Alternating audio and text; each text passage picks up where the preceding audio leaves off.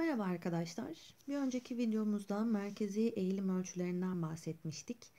E, aritmetik ortalama, mod ve medyanı anlatmıştık. Bu videomuzda da merkezi dağılım ölçülerini e, beraber işlemiş olacağız. Merkezi dağılım yani yayılma ölçüleri dediğimiz durum neleri inceliyormuş? Önce onu söyleyelim. Burada ölçümlerin homojenliğini ya da heterojenliğini bulmuş olacağız. Ortalamadan ne kadar uzağa yayıldıklarını, ya da merkezi eğilim ölçüleri etrafında nasıl dağılım gösterdiklerini incelemiş olacağız. Yani şöyle söyleyebiliriz. Merkezi eğilim ölçüleri daha genel yorumlar için kullanılırken merkezi dağılım ölçüleri bunların daha ince ayrıntı yorumlarını yapmak için kullanılmış olacaklar. İki tane merkezi dağılım ölçümüz vardı. Bunlardan ilki range arkadaşlar. Range dediğimiz aslında açıklık gördüğünüz gibi ya da aralık değeri olarak da karşınıza çıkabilecek sorularda zaten bunu tekrar konuşmuş olacağız. Biz bu açıklığı bir yerde daha görmüştük hatırlayın. Histogramı anlatırken orada da veri açıklığından bahsetmiştik. Aynı şeyi söylüyorlar. Açıklık dediğimiz durum en büyükten en küçüğü çıkartmak dediğimiz durum arkadaşlar. En büyük değerden en küçük değeri çıkarttığımızda e, açıklığı yani range'ı bulmuş oluyoruz. Peki range bize neler söyler yorum yapmak istersek onu da hemen söyleyelim. Range'ın büyük çıkması genel olarak grubun heterojen olduğunu yani öğrenme düzeyleri arasındaki farklılıkların yüksek olduğunu söylemiş olur. Testin bilen ve bilmeyen öğrenciyi ayırt ettiğini gösterir bize. Şöyle düşünün bir sınıfta matematik sınavı uyguladınız, matematik yazılısı uyguladınız. 10 alan var en düşük, 90 alan var en yüksek. Aradaki fark gördüğünüz gibi range dediğimiz değer ne çıkmış oluyor? 80 çıkmış oluyor. Burada gerçekten bilen ve bilmeyen öğrenciyi ayırt ettiğimizi, işte sınıfın heterojen bir sınıf olduğunu yani farklı e, öğrenme düzeylerinde olan çocukların olduğunu görebileceğimiz bir sınıf olduğunu range bize anlatmış oluyor. Ama başka bir sınıfta mesela puanlar 50, 51 işte en yüksekte 55 olsun. En az 50, en yüksek 55 olan bir sınıfta rancınız gördüğünüz gibi 5 çıkar ve burada da küçük çıktığı durumlarda da homojen bir sınıfla uğraştığınız yani öğrenme düzeylerinin birbirine çok yakın olduğunu, bilen ve bilmeyen öğrenciyi ayırt etmediğini öğreneceğimiz bir test uyguladığımız söylenmiş olacak bize. Bu şekilde yorumlar karşınıza gelirse de bunları yorumlamanızı isteyeceğiz sizden. İkinci olarak da standart sapma var merkezi dağılım ölçülerinde. Standart sapmamıza bakacak olursak standart sapmamıza bakacak olursak bu da standart sapma da grup içindeki farklılaşma düzeyini gösteren değerlerdir diyor. Ee, aslında aritmatik ortalamadan uzaklıklarını ölçtüğümüz bir durum arkadaşlar standart sapma. Standart sapmanın yine büyük çıkması öğrenciler arasındaki değişkenlerin fazla olduğunu, uygulanan testin bilen ve bilmeyen öğrenciyi ayırt etme gücünün yüksek olduğu anlamına geliyor. Aynı range'daki gibi düşünün yani. Range'ın büyük çıkması da bilen ve bilmeyeni ayırt etmekte daha güçlüydü. Standart sapmanın büyük çıkması da bilen ve bilmeyen öğrenciyi ayırt etmekte daha yüksek bir değeri var. Peki standart sapma nasıl hesaplanır? Standart sapma için şu şekilde adımlarımız var arkadaşlar. Ama formül üstünden söylemiş olalım. Çünkü karşınıza yani bazı sorularda standart sapma bu formülle bulunur diyecek ve sizden bu formülü uygulamanızı isteyecekler. O yüzden bu görsellere de alışkın olmamız lazım. O zaman şimdi Sx dediğimiz zaten standart sapma. Gösterimi Sx şeklinde gösterilmiş olacak en öğrenci sayısı her zamanki gibi şu gösteriminde aritmatik ortalama olduğunu geçen videomuzda da öğrenmiştik. Aritmatik ortalamayı artık x üzerinde çizgi olarak görmüş olacağız. Standart sapmayı bulurken öncelikle aritmatik ortalamayı buluyorsunuz. Birinci işlem aritmatik ortalamayı bul. Aritmatik ortalamayı bulduktan sonra her verinizden size verilen her veriden aritmatik ortalamayı çıkartıp karesini almanızı istiyoruz. Yani şöyle x1 diye bir veri var. Aritmatik ortalamayı çıkarttım. Karesini aldım. x2 diye bir veri var. Aritmatik ortalamamı çıkarttım. Karesini aldım. Şeklinde. İşte bunu nereye kadar götüreceğim? En son bu verim var. Bundan aritmatik ortalamayı çıkarttım. Karesini aldım. Ve bunların hepsini topladım demenizi istiyoruz. Bu anlatımda da onu söylüyor. Toplam sembolünü zaten tanıyoruz. E, birden başlayarak eninci veriye kadar işte birinci veriden aritmatik ortalamaya çıkart karesini al, topla. İkinci veriyi yaz, aritmatik ortalamaya çıkart, karesini al, topla. Ta ki nereye kadar? Eninci terime kadar. Eninci terimi yaz, aritmatik ortalamayı çıkart, karesini al, topla şeklinde söylemiş olacak. Bulduğumuz bu toplamı, üçüncü olarak bulduğumuz bu toplamı veri sayısının bir eksiğine bölüyoruz. n tane veriniz varsa bunun bir eksiği olan n eksi 1'e bölmeniz isteniyor ve en sonda kök içine aldığınızda standart sapmanızı hesaplamış olacaksınız. Burada da zaten onu bizim anlattığımız gibi sözel olarak da anlatmış olacaklar. Ama karşınıza bu formül gelir. Yani size standart sapmayı sözel olarak anlatmaz soru. Standart sapmanın formülü budur. Haydi bunun standart sapmasını bul derler. O yüzden bu görsele alışkın olmamız lazım. Bakalım. Standart sapmanın karesine varyans denir şeklinde bir notumuz var. Bunu sadece e, doğru mudur yanlış mıdır sorularında bilmeniz için önemli. Mesela işte kaç tanesi doğrudur şeklinde sorular soruyorlar size. Orada doğru bir bilgi olduğunu söylemenizi istediğimiz bir durum. Onun dışında veri grubunun standart sapması büyük ise grubun puanları arasındaki farklılaşmanın fazla, küçük ise veri grubu puanlarının birbirine yakın olduğunu söyleyebiliriz demişler. Bunu da bir sorumuz geldiğinde zaten tekrar buraya geri döneceğim. Ne demek istediğini hep beraber anlamış olacağız. O zaman sorularımıza bir başlayalım bakalım. Neler soracaklarmış. Veri setinin dağılım genişliği, setin açıklığı, ranjı gördüğünüz gibi birçok şekilde sorabiliyorlar bize. Dağılım genişliği diyebilir, setin açıklığı diyebilir, ranj diyebilir. Ama hepsini anlatıyordu bize bu sorularda. En büyük terimden en büyük veriden en küçük veriyi çıkartmamız gerektiğini anlatıyordu. E bakıyorum ortama o zaman en büyük gördüğünüz gibi 34'üm var. En küçük de 9 var ortamda. O yüzden bunların farkı yani buranın range dediğimiz değeri 25 çıkmak zorundaymış.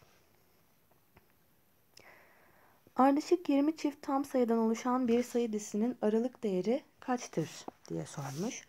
Ardışık 20 çift tam sayımız olacaksa istediğiniz bu 20 çift tam sayıyı oluşturabilirsiniz. Çift tam sayıların formülünün 2n olduğunu da biliyoruz. O zaman 1 koyduğumuzda 2 ile başlasak sonra 2 koydum 4, 3 koydum 6 olduğunu biliyorum. Neden birden başladım? Birinci sayım 2, ikinci sayım 4. Peki 20. sayım kaçtır diye sorduğumda yerine 20 yazdığımda 20. çift sayımında 40 olduğunun farkındayım. Şu an birden başlayıp yerine yazdığımızda 20 tane çift tam sayının kimler olduğunu bu şekilde ona söylemiş olduk. Aralık değeri de diyebilir demiştik ranj için. O zaman ranjını soruyorsa bize en büyük terimden en küçük terimi çıkarttım. Bu 20 çift tam sayının 38 olduğunu görmüş olurum. Ranj değerinin 38 olduğunu görmüş olurum. Küçükten büyüğe doğru sıralanmış yukarıdaki sayı dizisinin aritmatik ortalaması 13 olduğuna göre aralık değeri kaçtır diye sormuş. Şimdi o zaman küçükten büyüğe doğru sıralanmışsak 4, 7, 9, 10, 14 diye gidiyoruz dikkat edin. 3 tane bilinmeyen var gibi söylüyor ama madem küçükten büyüğe doğru sıralanmak zorundayız A ve B'nin 15 ve 16 olması şart zaten. 14 ve 17 arasında e, küçükten büyüğe doğru sıralayacaksak bu iki sayının zaten olması gerektiğini biliyoruz. Tek bilmediğimiz durum aslında kim? C.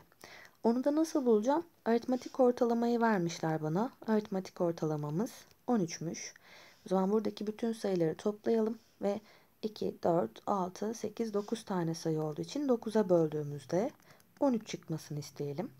Hatta toplamları ne çıkıyormuş? Öncelikle ona bakmış olsak 100 17 çıkması gerekiyormuş. Yani buradaki bütün sayıların toplamı 117 olmak zorundaymış.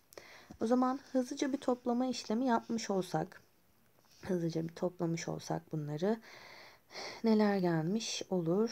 Hızlı toplayalım. 24, 28, 45, 60, 76, 83, 92 gelmiş oluyor. Topladığımızda. O zaman 92 çıkartırsak C'yi bulmuş oluruz. Bütün toplam 117 idi çünkü. O zaman ne gelmiş olacak gördüğünüz gibi C sayısının 25 gelmesi gerektiğini görmüş oluruz. E C sayımızı 25 bulduysak aralık değeri dediğimiz ranjını yani açıklığında zaten rahatlıkla bulmuş oluruz artık. Çünkü en büyük terimimiz 25, en küçük terimimiz 4. Aralarındaki farkın 21 olduğunu gördük. O yüzden de range değerimizin 21 olduğunu söylemiş oluruz.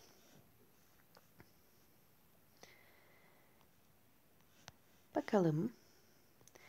5 kişinin aday olduğu bir seçimde adayların aldıkları oy sayıları bunlarmış ve aralarında böyle bir bağıntı varmış. Oran orantıdan biliyorsunuz hepsine tam bölünebilecek bir k değeri seçerdik. O zaman 12k'da eşitlesek bunları. Şunu görmüş olurum. A 6k değerinde bir sayı, B 4k değerinde bir sayı, C 3k değerinde, D ve E'miz 12k değerinde ve F'miz 2k değerinde bir sayı olarak gelmiş olur. E, küçükten büyüğe doğru sıralasak elimizde 2k, 3k, 4k, 6k ve 2 tane de 12k değerlerimiz geldiğini görmüş oluruz. Bu sayıların oluşturduğu sayı dizisinin medyanı 20'ymiş. Peki medyanı nasıl buluyorduk biz? Tam ortadaki değer olduğunu söylemiştik. 2 birim bu taraftan, 2 birim bu taraftan geldiniz. Tam ortada bu iki sayımız kalmış oldu.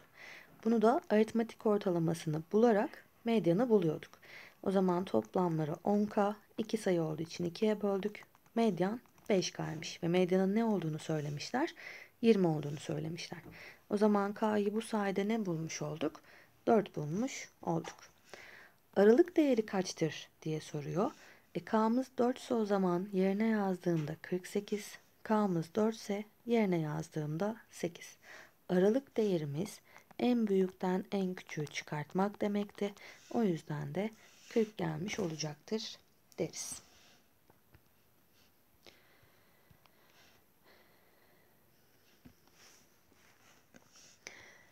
Bu verileri için bu ifadelerden hangilerinin doğru olduğunu söylemiş. Şimdi bunları bulmak için ilk önce bir sıralama yapmak zorundaydık. Hatırlayın mutlaka hep küçükten büyüğe görmek zorundayız. Bu zaman başlıyorum. 13, 13'lerimiz var. Sonra 14'üm var. 15'imiz var. Hatta 15'imiz 3 tanelermiş. O yüzden 15'lerimiz var dedik. Sonra kim geliyor? 28'imiz var. Gördüğünüz gibi. 38, 40, onlar da gitmiş olsunlar. 45, 49 ve 60'ımız var. Tam sığdıramadık. 49 ve 60'ımız var dedik. Modu 15'tir demiş. Evet gördüğünüz gibi 3 kez tekrarladığı için modumuz kesinlikle 15. Açıklığı 47'dir demiş. E, en büyük terimim 60, en küçük terimim 13 olduğu için aralarındaki fark açıklık değerim 47'dir. Onun da doğru olduğunu bulmuş oldum. Medyanı 44'tür demiş. Medyanımızı bulmak için uğraşalım o zaman. Bakalım 3 birim buradan geldiniz. 3 birim buradan gelmiş oldunuz şu şekilde. 2 birim geldik. 2 birim geldik. Tam ortada şu iki sayımız kalmış oldu. E bunların aritmatik ortalaması medyandı. Bunları da topladığınızda 43 gelmiş oluyor. E 43'ün yarısı da 21 buçuk oluyor. Medyanımız aslında 21 buçuk. 44'tür diyor. Yanlış bir şey söylediğini görmüş olduk verilerden. O yüzden de kaç tanesi yani hangileri doğrudur demiş. Birinci ve ikinci öncülümüzün doğru olduğunu söyleyebiliriz.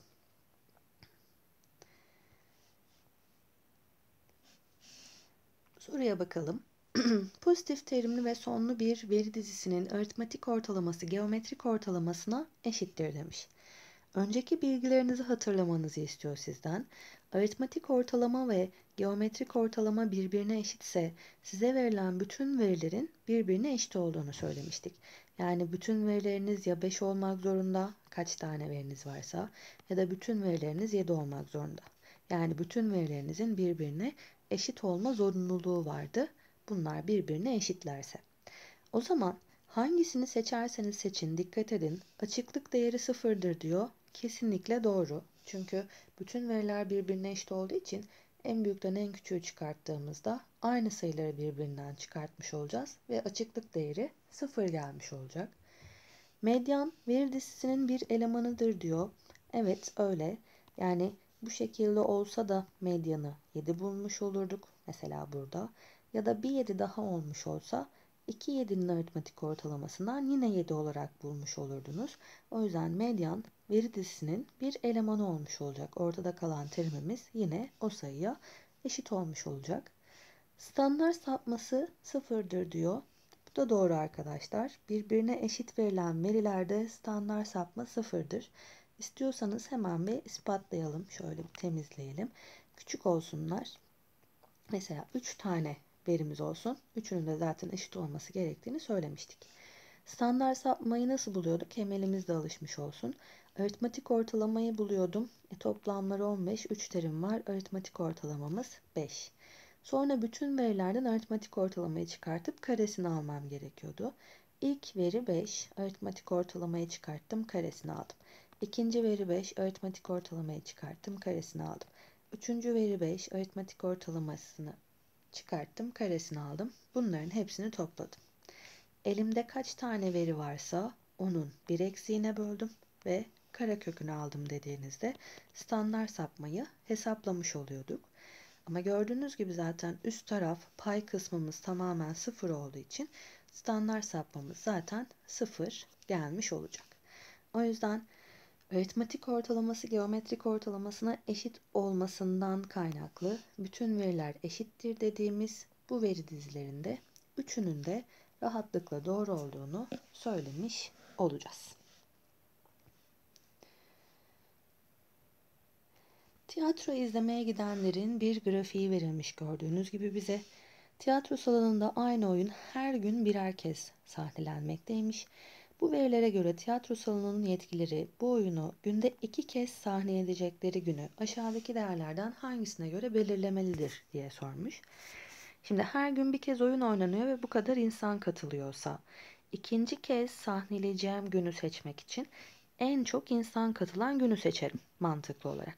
Cumartesi günü gördüğünüz gibi 100 kişi katılmışsa en çok bugün katıldığı için yine cumartesi günü yapmam lazım.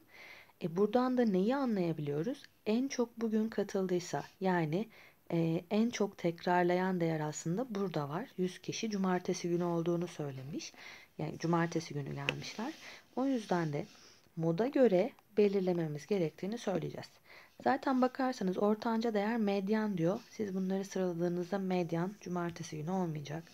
Ya da açıklık diyor en büyükten en küçüğü çıkartmamız, aritmatik ortalamalarını almamız zaten bir, e, bu durumu çözmüş olmayacak. O yüzden en çok tekrar eden değerimiz en çok kişi gelen değer olarak modu seçtiğimizde onun istediğini yapmış olacağız.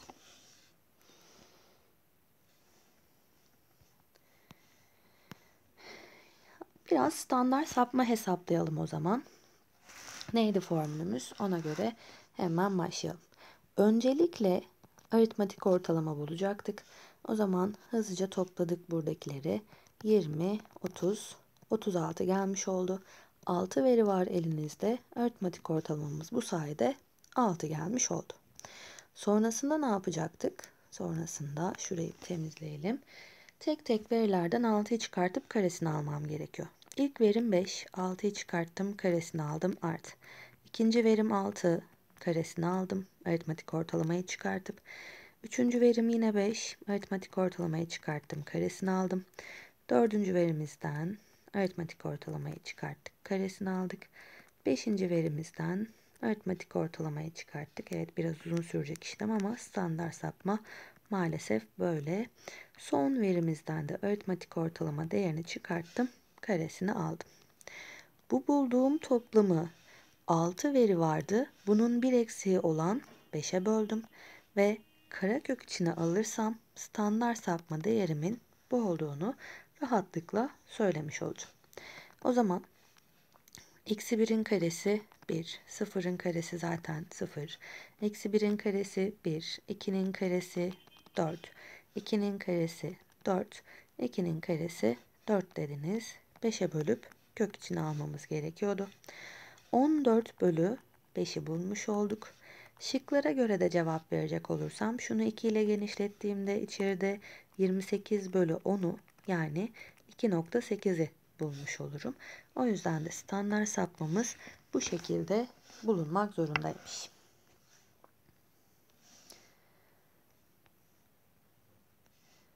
Yine bir standart sapma soracaklar bize. Şöyle büyütelim. 6 kişilik grubun Türkçe sınavından aldıkları notlarmış bunlar. Aritmatik ortalamayı standart sapmaya oranlamamızı istiyormuş. Öncelikle bir aritmatik ortalamayı bulalım o zaman hızlıca. Şunlar 20 yaptı. 29, 36 gelmiş oldu toplam. 6 veri vardı elimizde. Aritmatik ortalamamız yine 6 çıkmış oldu. O zaman standart sapmaya başlayalım bakalım. 4'ten 6'yı çıkarttım. İlk verimden aritmatik ortalamayı çıkarttım. Karesini aldım. İkinci veriden aritmatik ortalamayı çıkarttım. Karesini aldım. Üçüncü veriden aynı şekilde. Dördüncü veriden aritmatik ortalamayı çıkarttım. Karesini aldım. Beşinci veriden aritmatik ortalamayı çıkarttık. Son veriden aritmatik ortalamayı çıkarttık. Karesini aldık dedik. Kaç tane veriniz varsa onun bir eksiğine böldünüz. 6 verimiz vardı. O yüzden 5'e böldük. Kök içine aldığımızda da zaten standart sapmamızı bitirmiş olduk. O zaman neler geliyormuş? Eksi 2'nin karesinden 4, 2'nin karesinden 4, 0'ın karesi 0'dır, eksi 1'in karesi 1'dir, 1'in karesi 1'dir, 0'ın karesi 0'dır dediniz. 5'e bölmem gerekiyordu ve kök içine almam gerekiyordu. O zaman e, buradan da 10 bölü 5'ten kök 2'yi görmüş olduk. Standart sapmamız kök 2'ymiş. Peki kimi kime oranlıyorduk? Kimi kime oranlıyorduk? Aritmatik ortalamayı standart sapmaya. Aritmatik ortalamam 6. Standart sapmaya oranlarsam, dikkat et diğeri de var çünkü şıklarda. 6 bölü kök 2'yi bulurum. O zaman şıklarda böyle bir durum olmadığı için kök 2 ile eşleniyle genişlettiğimde 6 kök 2 bölü 2'yi yani 3 kök 2'yi görmüş olurum rahatlıkla.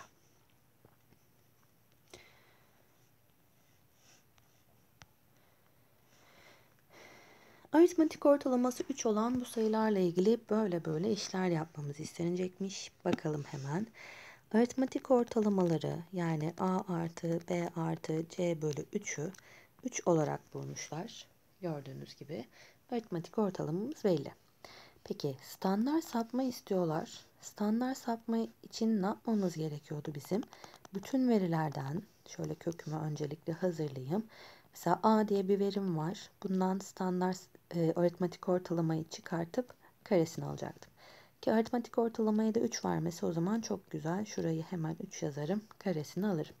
İkinci verim B. Ondan aritmatik ortalamayı çıkartırım. Karesini alırım.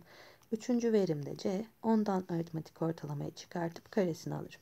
Ve 3 tane veri olduğu için 1 eksi olan 2'ye böldüğümde şu an standart sapmamı hesaplamış olurum. Burada da denklemler vermişler zaten gördüğünüz gibi. Çünkü buradan açıldıklarında demek ki işimize yarayacaklar. O zaman şunların açılımını bir yapmış olsak. Tam kare açılımından a kare eksi şurayı hemen silelim. a kare eksi 6a artı 9 diye açtım. B kare eksi 6b artı 9 diye açıldı. c kare eksi 6c artı 9 diye açıldı. Bölü 2 şu şekilde de kök içindeyiz. E gördüğünüz gibi a kare eksi 6a aslında kimmiş? Şunu karşıya atarsak 5'e eşitmiş. E b kare eksi 6b karşıya atarsanız 12'ye. c kare eksi 6c karşıya atarsanız 20'ye eşitmiş. O zaman onlar yerine hemen değerlerini yazmış olsak a kare eksi 6a'nın 5 olduğunu söylediler. b kare eksi 6b'nin 12, c kare eksi 6c'nin de 20 olduğunu yukarıdaki denklemlerde aslında bize vermiş oldular. O zaman toplarsak şimdi 27, 47, 52, 64 geliyor. 64 bölü 2 kök içindeyiz tabii ki. Yukarısı 64 geldi. Yani 64 bölü 2'den 32 olduğunu gördük. Kök 32'yi sordukları için de 16 çarpı 2 olduğunu biliyorsunuz. O yüzden buranın standart sapması rahatlıkla 4 kök 2 bulunurmuş. Yani bilinmeyenler vermişler ama bilinmeyenlerin gördüğünüz gibi denklemlerini de vermişler. O yüzden standart sapma formülünde bunları bu şekilde yerleştirebiliriz dedik. Pekala. 11. sorumuza bakalım. Standart sapmalarını soruyor bize ve bunların büyükten küçüğe, daha doğrusu küçükten büyüğe doğru sıralanmalarını istemiş. O zaman şimdi şöyle bir durum var. Az önceki soruda verilerin birbirine eşit olduğunu gördüğümüzde standart sapmalarının zaten sıfır çıkacağını öğretmişti bize. Onun dışında bu nota geri döneceğimizi söylemiştik. Hemen bu nota geri dönelim. Standart sapması büyük ise puanlar arasındaki farklılaşmanın çok olduğunu, küçük ise puanlarının birbirine yakın olduğunu söyleyebiliriz demişti. Hatırlayın. Yani şunu söylüyoruz arkadaşlar. Size verilen veriler arasındaki e, farklar yani şu şekilde aralarındaki farklar baktığınızda daha büyükse standart sapmanızın büyük ama mesela bunlar birer birer artmış aralarındaki farklar bir gördüğünüz gibi birbirine yakın sayılar veriyorlarsa da standart sapmanın daha küçük olduğunu yorumlayın istiyoruz. Şunu yapabilirsiniz. Bunların hepsinin standart sapmalarını bulup ondan sonra kimin büyük kimin küçük olduğunu zaten bulabilirsiniz. Ama genelde TYT'de geleceği için bu soru tarzı karşınıza bu kadar vaktimiz yok. Ki genelde de çirkin sayılar vermiş olacaklar. Bu önceki standart sapmalar kadar güzel çıkmayacak e, sonuçlarınız. O yüzden de şunu söylüyoruz. Birbirine eşitlerse zaten standart sapmamız 0. Aralarındaki farklılaşma mesela 1 de var 12 de var. Aralarındaki fark gördüğünüz gibi 11. Ama buraya baktığınızda aralarındaki fark her zaman 1. Birbirine yakın olan sayılarda standart sapma küçük olurken birbirlerine daha uzak olan sayılarda standart sapma büyük olur. O yüzden C A'dan kesinlikle büyüktür. B de en küçük olacak çünkü B zaten 0. Yani burada yine küçük desek de bir standart sapma var. İşte kök içinde 1.2 gibi belki bir standart sapmamız var. B zaten 0 olduğu için en küçük olmuş olacak. O yüzden de bunların sıralanması bu şekilde karşımıza çıkmış olacak diyebileceğiz. Yani bu sorularda yorum yeteneğiniz daha önem kazanmış oluyor. Gelelim sana. Şuraları bir temizleyelim. Bu da yine bize bir şeyler öğretecek bir soru arkadaşlar. Ama tabi öğrenirken biraz uzun uzun işlemler yapmış olacağız. ABC sayılarının standart sapması 2'ymiş. Bize yeni oluşumların standart sapmalarını bulmamızı isteyecekler. O zaman ilk önce şu ABC sayıları ile ilgilenelim. Bu ABC sayılarının demek ki bir aritmatik ortalaması bulunmuş. X1 diyelim hatta onun adına aritmatik ortalaması bulunmuş. Sonra ne yapılmış standart sapmaları bulunurken A'dan buradaki X1 değeri çıkartılıp karesi alınmış. B'den x2 değeri çıkartılıp karesi alınmış. C'den e, x2 diyorum ya. Çok pardon. Aritmatik ortalamamız hep aynı çünkü x1 değeri çıkartılmış. Karesi alınmış. Yani bütün verilerden aritmatik ortalamamızı çıkartıp karesini aldık. 3 veri olduğu için de 2'ye böldük. Ve sonucu ne bulmuş olduk bu sayede? 2 bulmuş olduk. Şuraya izin vermiyor yazmamı yazdım. 2 bulmuş olduk. Peki. Yeni istediğin düzene bakarsam o zaman. Şimdi bunun standart sapmasını istiyorsa yeni oluşturduğumuz bu düzeneğin aritmatik ortalaması ne olur? Ona bakalım. Şimdi x1'i hatırla. a, b, c sayılarının toplamının 3'e bölümüydü. Peki. Senin x2 olsun aritmatik ortalaman. Ne olacak çünkü? a artı 4, b artı 4, c artı 4'ü 3'e bölmek isteyeceğim. E buradan a artı b artı c bölü 3 artı 12 bölü 3 diye ayırabileceğim bir durum gelir.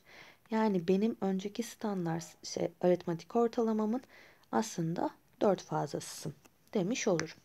Yani gerçekte verdiği aritmatik ortalamaya x1 demiştik hatırlayın.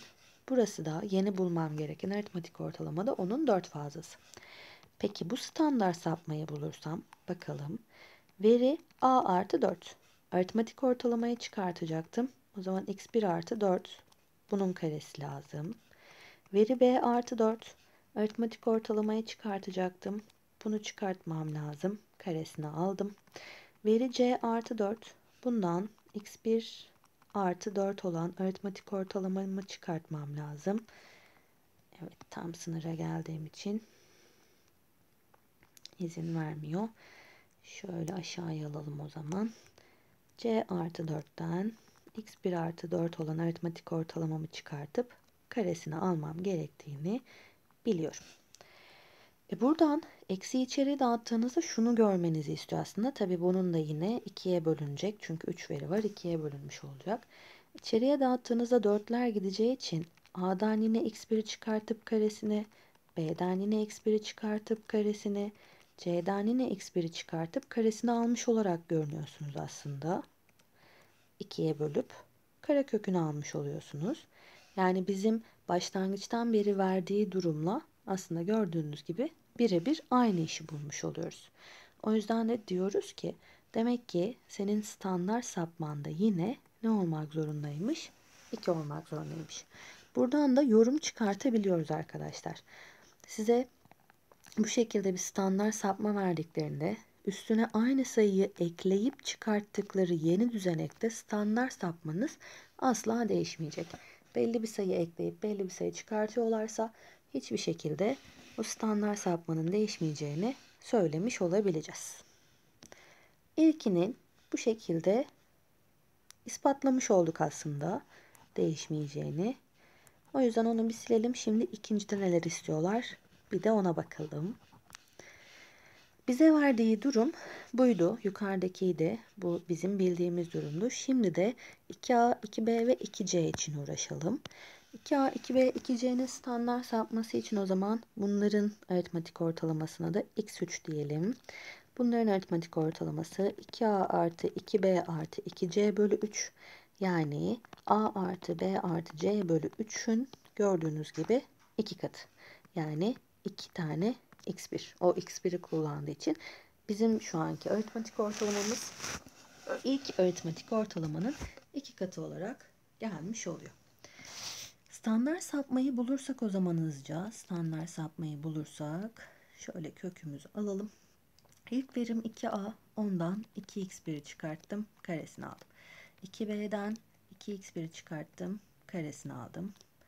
2c'den e, 2x1'i çıkarttım karesini aldım dememiz gerekiyor. Şöyle tamam.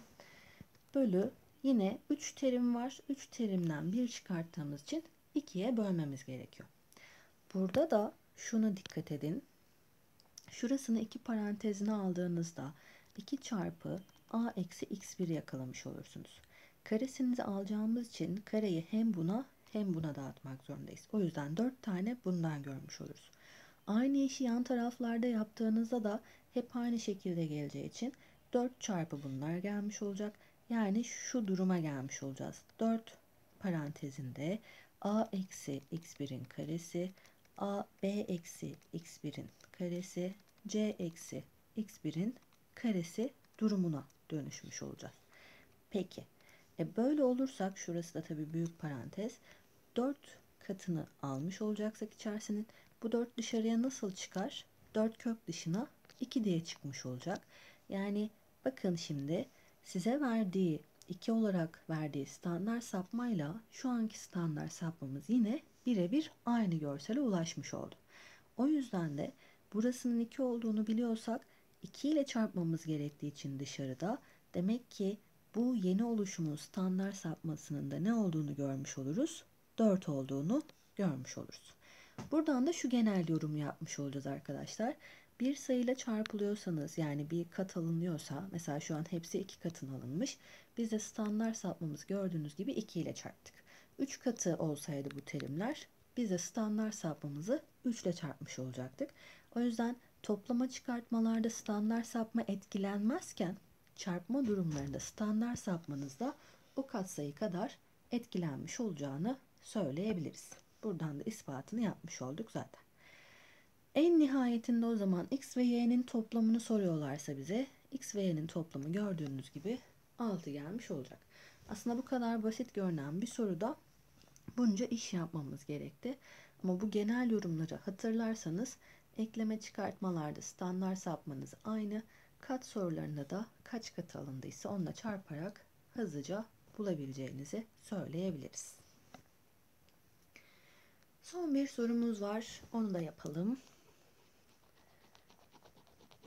Şöyle temizledik. 12 yarışmacının aldığı puanlar gösterilmiş. Sıralanmamışlar ama biz hemen bir sıralayalım o zaman küçükten büyüğe. O zaman 1 2 3 Sonrasında 7'lerimiz var 3 tane.